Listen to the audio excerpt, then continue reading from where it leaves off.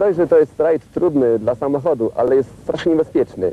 Na przykład na jednym z odcinków specjalnych było, policzyliśmy 650 zakrętów, z tego 300 e, prawych powiedzmy, czy tam lewych, ale w dół przynajmniej z kilkanaście pięter i w lewo powiedzmy również kilkanaście pięter, czyli po takich półkach skalnych. Jest to zabawa, wydaje mi się, troszeczkę niebezpieczna.